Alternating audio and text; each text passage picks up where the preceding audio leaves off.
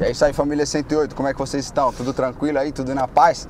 É isso aí, estamos ainda na presença da senhora 108, minha irmã, fazendo vídeo aí no mesmo dia, né? Que eu gravei o outro, sobre, falando sobre como foi o primeiro acidente de carro que eu sofri, que eu bati o carro, né? Primeira vez. E então vamos nessa. É, contar pra vocês agora aí, que, que elas estão pedindo aqui, como a, o primeiro porre que eu tomei pra valer na minha vida. Um porre que, mano, passei vergonha uma vergonha danada. Então o que acontece? Ah, e vou mandar um abraço já pro Six aí, pro Washington, que eles fazem parte também desse desse vídeo aí, dessa história, né? E então vamos nessa. Eles, eles que terminaram de me arrombar.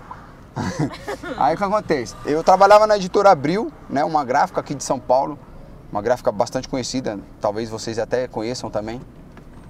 E o que acontece?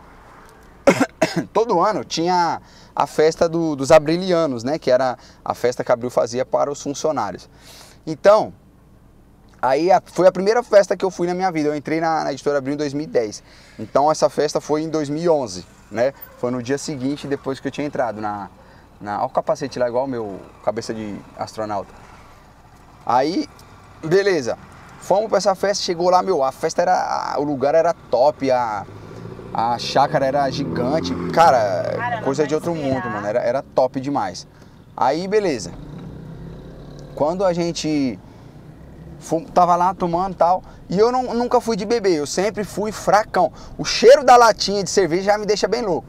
Então, a gente começou a comer pra caramba lá tal, e aí eu fui e comecei a tomar um chopp com, com os caras lá. Beleza. Um chopinho aqui, outro ali, tal, era gostoso pra caramba tal e achando que ia catar alguém. Ah, não, naquele dia ainda peguei uma menina ainda.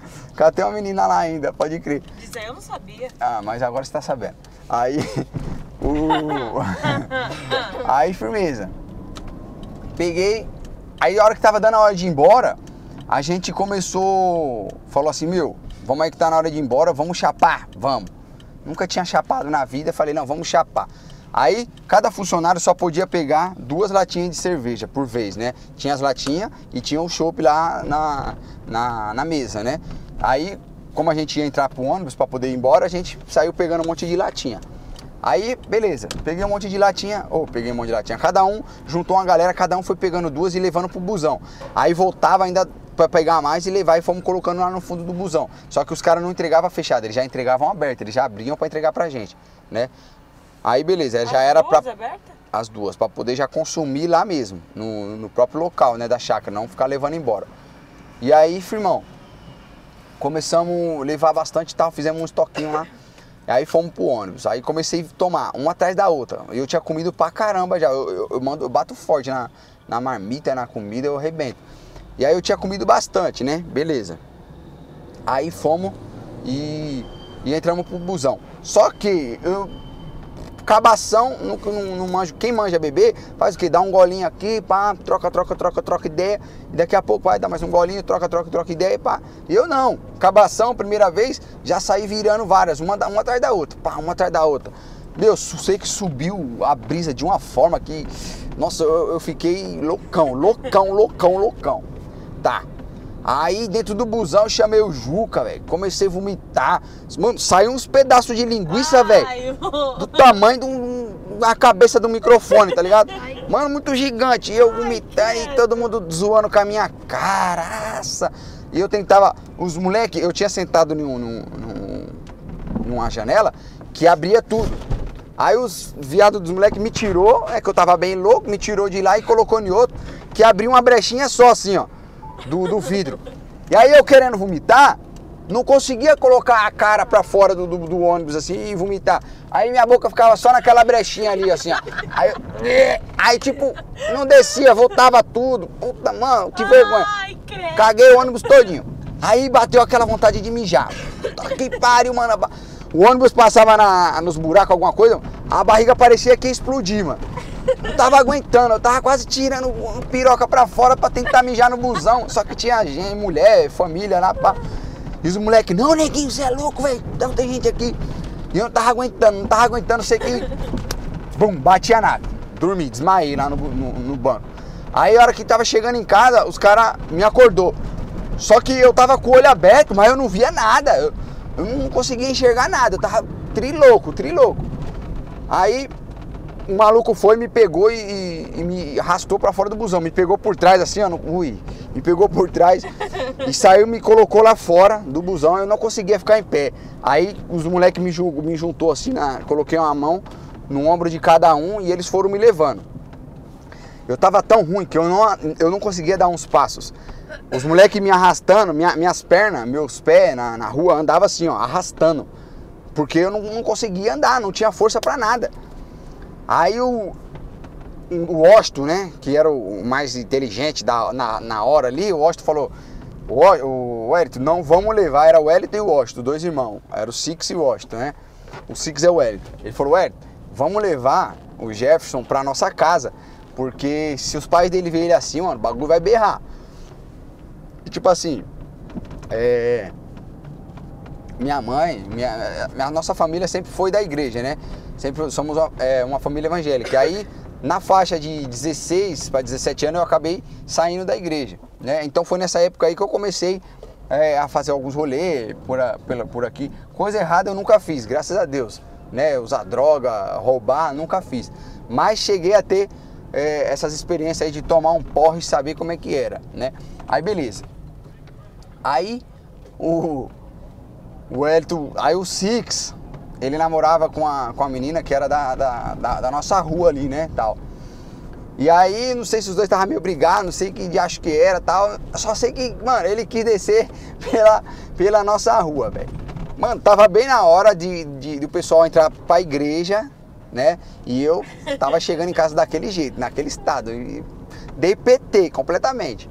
Aí, assim que nós saímos do busão, eu, eu falei pros caras, quero mijar, mano. Mano, quero mijar, mano, quero mijar. Aí os moleques, aí o Washington falou, ué, vamos parar ele aqui, ó, do lado aqui, né? Tinha um murão e tinha uns matos assim.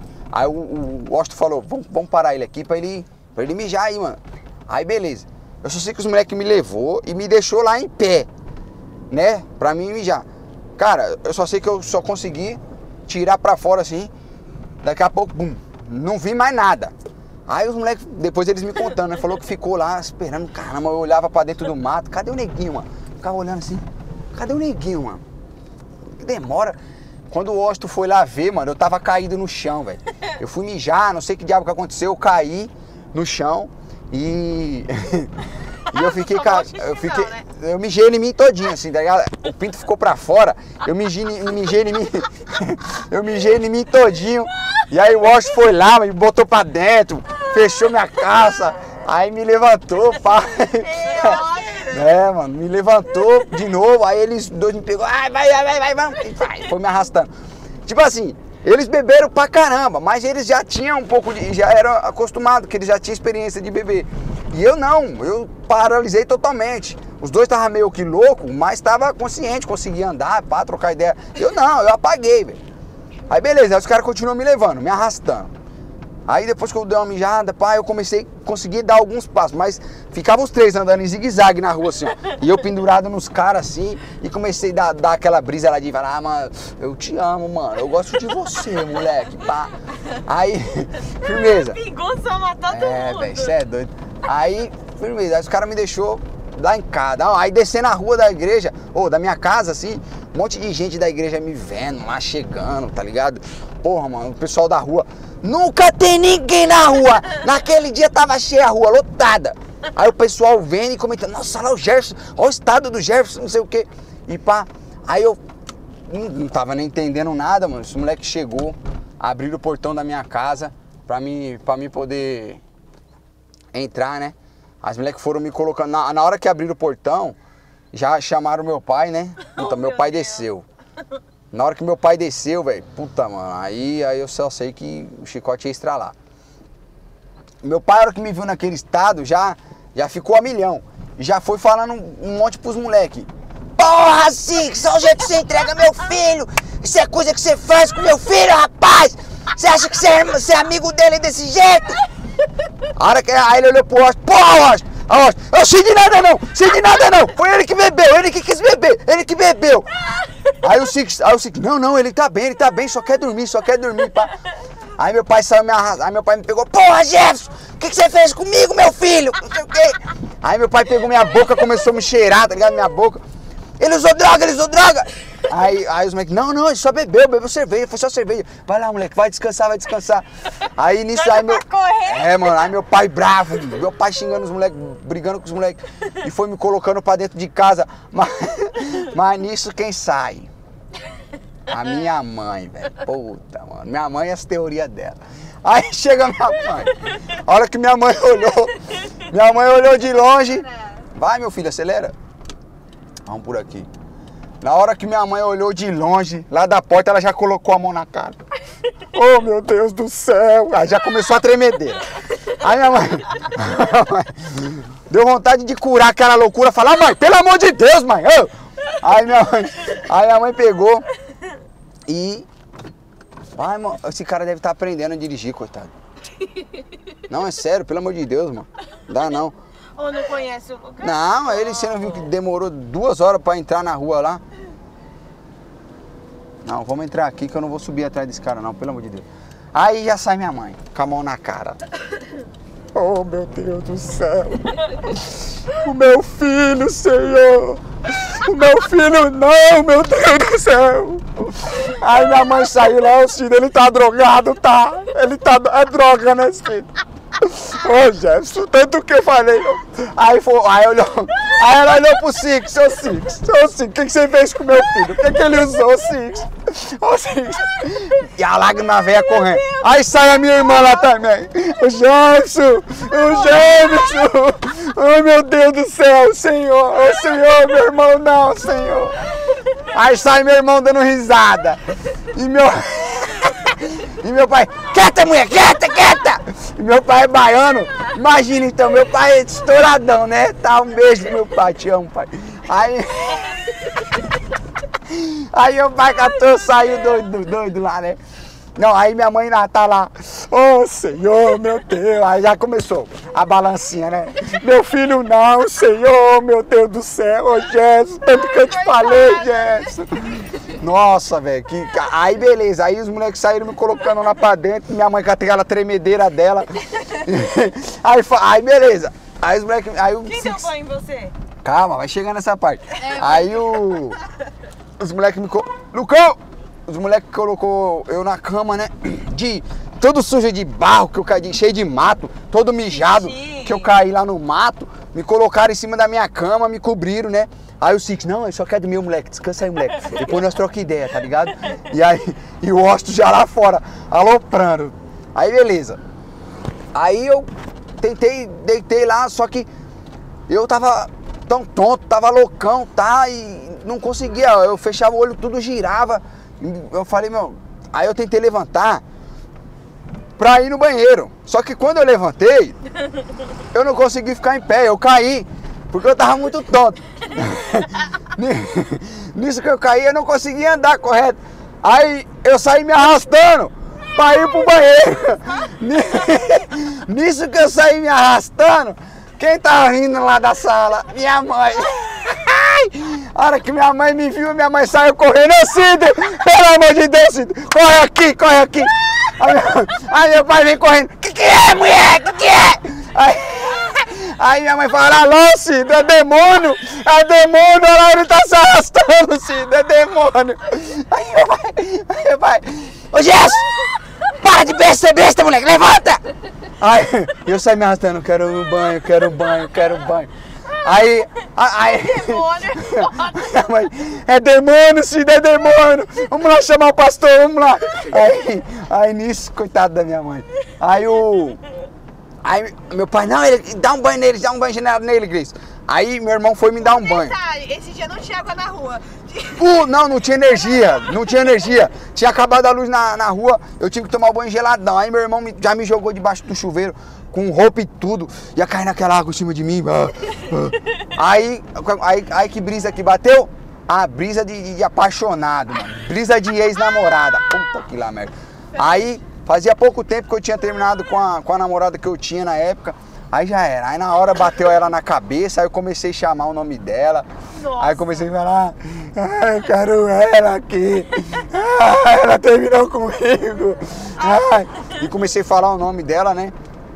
Aí os moleque, aí o meu pai, meu irmão rachando o bico, meu irmão dando risada. Aí eu olhava pra cara dele e falava, Gleice, ô Gleice, por que que ela fez isso comigo, cara? Eu amo ela demais, é, ô Gleice. Ô, mano, vai lá, mano, chama ela lá na casa dela, chama ela. Aí meu irmão foi lá, aí meu irmão foi lá e chamou ela. Foi- chamou ela na casa dela, beleza. Aí nisso ele já tinha me dado banho, já tinha me trocado, aí colocou eu na cama de novo. Aí daqui a pouco chega ela lá. Aí chega ela pra me ver e tal, se eu tava bem e tal. Aí começou a falar comigo lá, eu comecei a chorar de novo e falar um monte de bostalhada lá. Aí eu sei que depois ela foi embora, catei, consegui dormir, peguei no sono. No outro dia acordei uma dor de cabeça lazarenta e comecei, aí o pessoal começou a me, me zoar, né, mano? Eu andava na rua, os outros ficavam. Eu andava na rua, os outros ficavam me zoando, ficavam tirando sarro da minha cara. E aí um monte de gente começou a ir lá em casa, ficar perguntando com meus pais, tá ligado? Como é que eu tava e ficou falando mal. Puta, mano, foi mal, foi mal zoado, mano. Coitado. Não, você é louco. Né, mano? Moleque novo, moleque, né, às vezes acaba caindo no. Quem nunca tomou um porre na vida? É, tem gente que nunca tomou um porre, mas assim, Se não tomou, vai tomar. é, se não tomou, vai tomar, mas é o seguinte, toma cuidado com isso aí, né? E. Porque depois os pais sofrem, hein, mano. Os pais sofrem demais. E tem outras histórias aí da minha vida, da minha infância aí, que a maioria tem a ver com a minha mãe. E foi uma infância sofrida. E aí, com- conforme for passando os dias aí, passando o tempo, eu vou contando pra vocês, fazendo uns vlogs assim, diferentes também. Pra gente sempre trazer novidade pro nosso canal, beleza? Então é isso aí, espero que vocês tenham gostado dessa história aí, tenham, tenham dado risada junto com a gente. E tamo junto. Até o próximo vídeo, fiquem todos com Deus. Um salve da senhora 108 Tchau, gente. da minha irmã Cíntia e um meu. É nóis. Forte abraço, até o próximo vídeo. E é nóis. Por aqui.